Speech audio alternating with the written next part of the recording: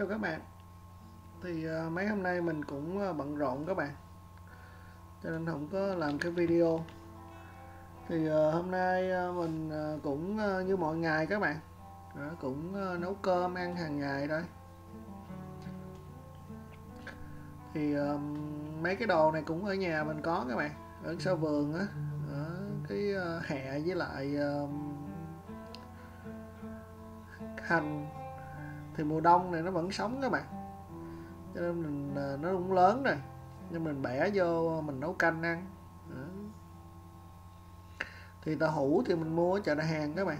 Thì tối nay mình sẽ nấu uh, canh tàu hũ uh, với lại hẹ với lại hành. Ở nhà mình có. Rồi uh, đây là me các bạn. Me cục đó các bạn. Mình mua trong chợ lâu rồi. Nhưng mà mình cứ ăn mỗi lần ăn thì ngày nào mình ăn mình bỏ ra một tí nha các bạn rồi ờ, tôm. Đó, thì mình mua ở ờ, trong chợ Mỹ. Thì tôm mình ờ, thích ăn tôm ở chợ Mỹ là các bạn biết sao? Nó giòn lắm các bạn. Ăn con tôm nó không có mềm. Tại vì tôm này nó như là nó nó bắt ngoài biển các bạn. Xong rồi nó còn tươi ngon lắm. Nhưng mà mỗi lần mình vô chợ Mỹ mình mua mình ăn con tôm giữa chợ Mỹ với lại chợ Á Châu á con tôm Mỹ á nó, nó nó giòn lắm. Mình không biết là nó có pha chất hay là có bỏ gì vô không nhưng mà mình không biết. Nhưng mà Mỹ thì nó vì vấn đề thực phẩm nó an toàn lắm các bạn. Cho nên mình không có nghĩ là nó bỏ cái này cái kia vô. Nhưng mà ăn con tôm nó rất là giòn. Thì mình mua một bịch tôm này thì khoảng 9 đồng các bạn. Khoảng 200 ngàn. Thì nó từ 21 đến 25 con. Thì tại nó đề số 21 đến 25 đó là cái từ 21 đến 25 con thao. Tôm ngon lắm các bạn. Tôm không có đầu nó lấy ờ, ra hết rồi. Cho nên mình mua cái này về rồi mình xào me. Đó, tối nay mình ăn. Đó là mình ờ, có bữa cơm rồi. Thì tôm thì ờ, nó để trong ngăn đá các bạn. Cho nên mình về mình xả nó ra rồi uh, mình ghé chợ ờ, đại hàng mình mua một miếng thịt bầm với lại uh, miếng tàu hũ non. Thì cái lò này cũng rất là quen thuộc rồi các bạn biết rồi. Thì uh, mình uh, xào tôm mình chiên tôm thì mình chiên ngoài trời các bạn cho nó không có mùi hôi vậy đó. Thì cái lò này của tôi thì uh, giờ để cho nó nóng rồi cho nó dầu nó nóng lên để mình chiên tôm thì ờ, trong lúc mình chờ lửa nóng thì mình cũng có thể là nấu một cái nồi cái bên các bạn. Để mình ờ, nấu cho me. Đó, nó tan ra. Thì me này ờ, mình mua me cục không à. Mỗi lần mua mua cả cái lô các bạn ở mấy chợ Á Châu á. Cho nên me rất là ngon. Me này là organic chứ các bạn là me nguyên chất á không có quá chất gì trong này đó tại vì thường mình à, nó cũng có bán cái loại mà bột á, nhưng mà từ thường thì tụi tôi không có ăn cái đó. Nhiều khi nó quá chất trong đó, nên chỉ sợ à, bệnh thôi. Thì me này à, bỏ lên cho nó nước nóng các bạn, nấu cho nó, để cho nó tan ra.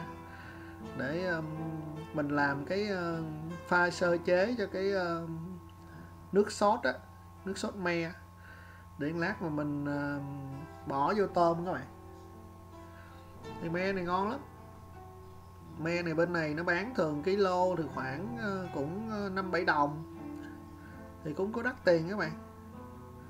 Mình mua nhà cục cục vậy rồi mình về mình làm cục cục nhỏ nhỏ rồi mình bỏ tủ lạnh. Rồi mình để mình ăn từ từ. Thì me này các bạn ờ, nấu cho nó tan ra. Rồi sau đó nêm nếm bỏ tí xíu đường với tí uh, xíu muối đó, vô cho nêm tí xíu để cho nó vừa miệng với mình á. Để lát nữa mình uh, chiên tôm lên rồi xong rồi bắt đầu mình uh, mới bỏ cái sốt này vô. Để làm uh, món uh, tôm uh, sốt me thì mà, ở nhà mình ăn những món của Việt Nam thông thường các bạn ngày nào cũng như ngày đó à. thì dầu bây giờ nóng rồi các bạn thì mình bỏ tôm vô. Thì tôm này uh, cỡ hai mấy con đấy thì buổi tối mình ăn ở như đây rồi với lại ăn miếng món canh nữa. Với lại chén cơm là đủ các bạn. Thì cái khi mà cái chảo dầu nóng các bạn thấy bỏ tôm vô là chín liền à lẹ lắm các bạn. Cho nên mình không có phải để lâu đâu cho nó cháy. Mình bỏ vô xong rồi ờ, tôm nó mình vớt ra lợn tôm nó rất là ngon rồi, nó giòn rồi. Tôm ở Mỹ thì mình thích ăn như mình nói với các bạn nè, ăn nó giòn, nó ngon lắm. Ăn nó sực sực sực sực, chứ không phải là nhưng tôm ở chợ Á Châu đồ mình mua về mình nấu nó teo lại còn tí xíu các bạn. Tôm này nó không có teo, hay là như vậy á. Thì ờ, tôm ở, mình bỏ vô, mình đảo nó lên rồi mình vớt nó ra các bạn.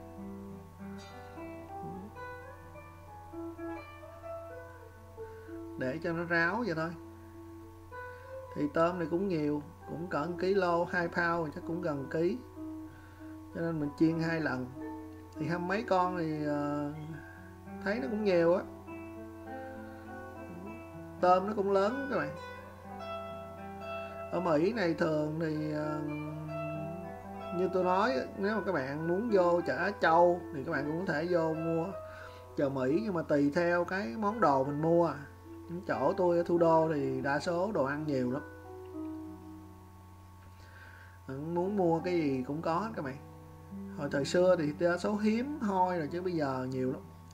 Cái đồ ăn ngon gì là đưa về thủ đô hết à. Cho nên các bạn ở thủ đô là không có sợ ăn đồ ăn dở. Thì tôm ở chiên lên rất là ngon các bạn. Thấy cái vỏ nó săn lên rất là giòn. Thì lát nữa mình ờ, cũng để vỏ này mình ờ, sơ chế mình xào lại tại vì uh, cho cái ờ, sốt me á các bạn nó thấm vô.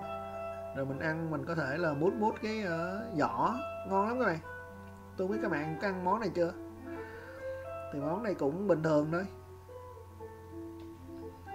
Tại nhà vợ tôi uh, cũng uh, biết làm đồ ăn nhiều thứ lắm. Hồi xưa ở Việt Nam có nhà hàng.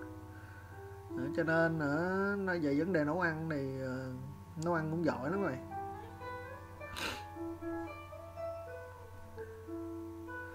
qua Mỹ này, cái gì cũng làm hết các bạn tôi thì ở Việt Nam tôi không có biết nấu. Tôi nhớ nhà tôi ở dưới quê. Nên tôi không biết nấu vậy nhưng mà qua Mỹ thì vợ cũng chỉ rồi biết làm đó các bạn. Từ từ làm. Thì ờ, tôm mình vớt ra để cho sơ, cho nó ráo các bạn. Còn hành này thì ờ, nhà tôi trồng. Thì ở sau vườn á, thì ờ, đến mùa đông thì nó không có chết các bạn giờ nó bự lắm rồi. Nó bự như là mấy cái hù của hành tây vậy các bạn. Nó như là hành tây vậy, nhưng mà này là hành thường thôi à. Nhưng mà mùa đông thì nó cũng tươi tốt vậy lắm. Thì ờ, có một miếng hẹ thì cũng muốn già rồi. Cắt nó thôi, cắt nó xuống các bạn. Với hành này cắt nó xuống thì ờ, đến mùa xuân thì nó mọc chồi lên, nó mọc lại à. Hành với hẹ nó không có chết các bạn. Từ năm này qua năm nọ nó nó vậy hoài à.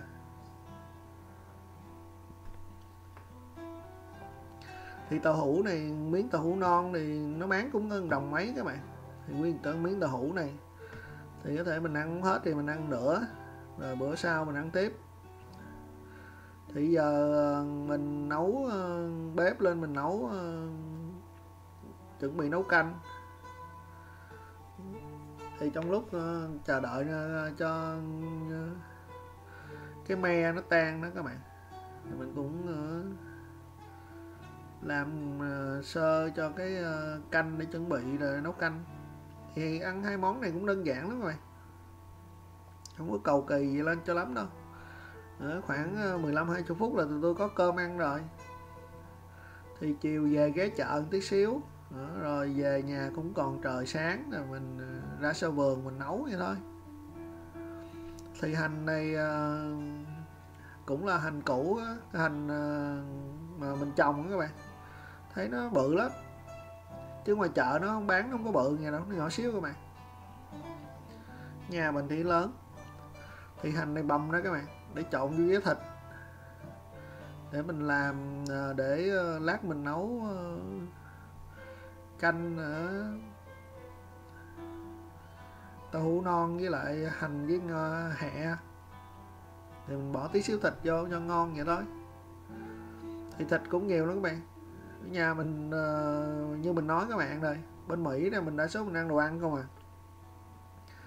Mình không có ăn ờ, cơm đồ nhiều sợ mập đó các bạn. Nhưng mà ăn đồ ăn nhiều thì cũng béo phì như thường thôi nhưng mà mình ăn đồ ăn nhiều lắm. Thì hành thì các bạn ờ, làm cho nó dập ra rồi mình sắc nhỏ ra thôi để mình bỏ vô trong thịt rồi sau đó mình à, nêm nếm thịt các bạn. Đó, thì uh, nhà tôi không có ăn bột ngọt nhưng mà ăn bột nêm các bạn. Đó, bột nêm này thì uh, cũng mua ở chợ Á Châu. Thì không biết họ có pha bột ngọt trong cái bột nêm này mình không biết nhưng mình ăn bột nêm mình thấy nó đỡ khát nước hơn với lại thấy ngon hơn các bạn. Họ nói là làm từ xương mà không biết có làm từ xương hay thiệt thì không biết hay là quá chất trọng mình không biết nhưng mình ăn thấy ngon. Nhưng mà đỡ khát nước. Cho nên là mình ăn bột nêm thôi. Thì bỏ miếng bột nêm vô rồi uh, cho miếng tiêu vô các bạn. Mình uh, trộn lên thôi. Thì có vị tiêu rồi nó thơm vậy chứ ờ, mấy thịt này ờ, đôi khi các bạn phải xào sơ cho nó. Nhưng mà tôi thì tôi nấu luôn, không cần phải xào. Bỏ nấu rồi ờ, nó có bọt đó các bạn. Thì mình vớt bọt đi.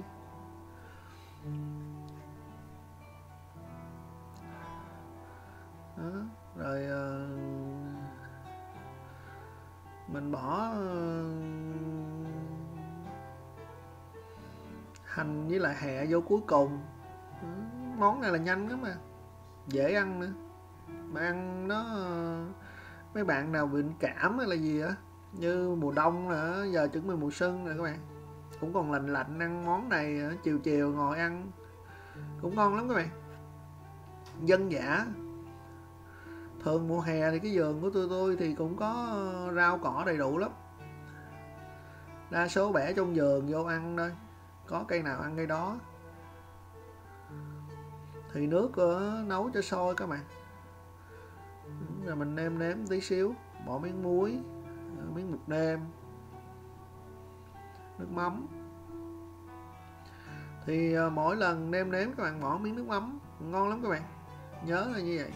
Ngon là nhờ nước mắm đó các bạn. Bỏ miếng tiêu vô nữa cho thơm. Giống như mà mỗi khi mà tôi không biết các bạn biết nấu phở không? Phở là các người ta cũng bỏ nước mắm vô các bạn. Cho nên nữa ngon là nhờ nước mắm. Thì giờ nước sôi rồi mình bỏ thịt vô nha các bạn.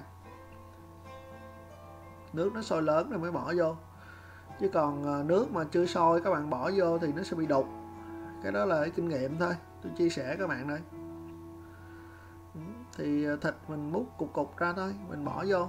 Giống như là mình làm dạng như viên viên đó các bạn thì các bạn cứ bỏ vô. Rồi nó sôi lên rồi à, mình vớt bọt thôi. Mấy cái bọt nào à, có nhiều người thì họ xào thịt rồi họ đổ à, nước vô. Thì tôi thấy cũng vậy thôi. Nhưng mà tôi tôi làm thịt sống. Xong bỏ vô luôn. Thì cái nồi cái bên các bạn thấy me nó tan ra ngon lắm các bạn. Giờ là chua lắm hả? Nhưng mà me này mình làm cái nước sốt thôi. Để lát nữa mình ờ, đổ vô trong ờ, mình sẽ xào ờ, tôm lại rồi mình mới đổ nước sốt này vô. Là nước sốt này vô con tôm là thấm ăn rất là ngon các bạn. Món này là ăn ngon à, cực kỳ luôn các bạn.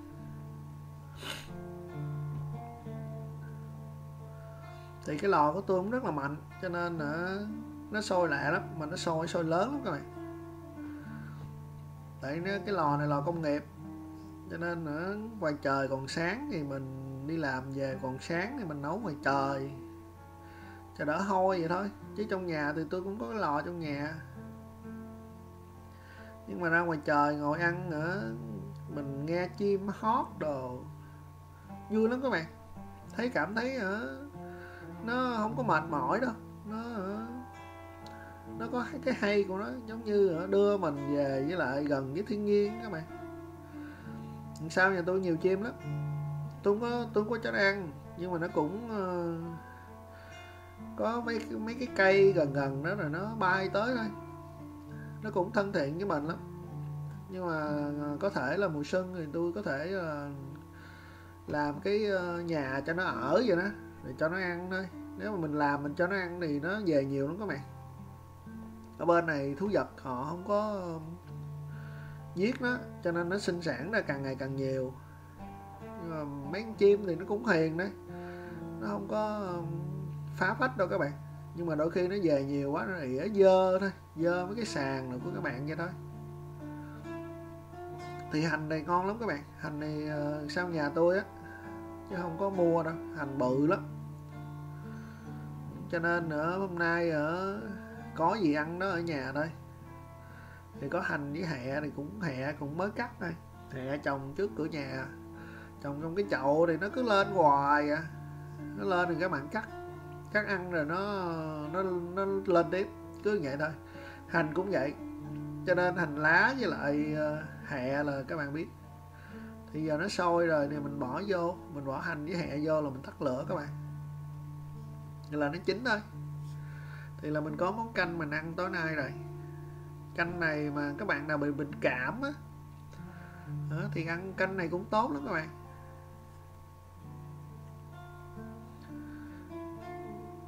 Nấu hai thứ hẹ, hẹ với lại uh, hành.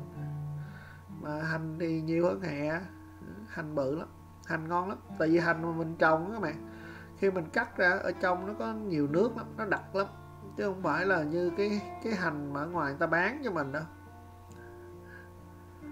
Nó tươi lắm. Nó giòn nữa. Ngon là nhờ như vậy các bạn.